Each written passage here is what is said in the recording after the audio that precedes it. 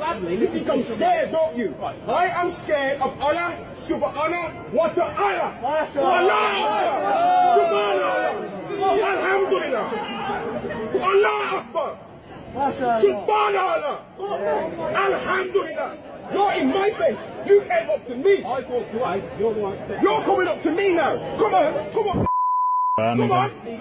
No. What are you doing here? I am preaching. You're preaching. I'm going to require you to go away. You can never. Okay, then I will arrest you for a breach of peace. Plain and simple. What friend. breach of peace? is what you're doing at the moment. You're causing problems, you're disturbing people's days, and you're breaching their peace.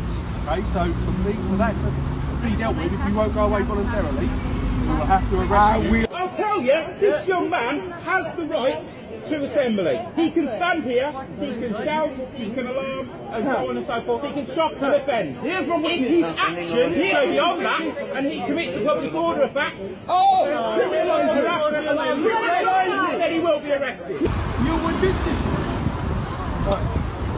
Take me, take me. No, no, no, no, no, no. Don't, don't, don't take my Bible away. Don't take my Bible away.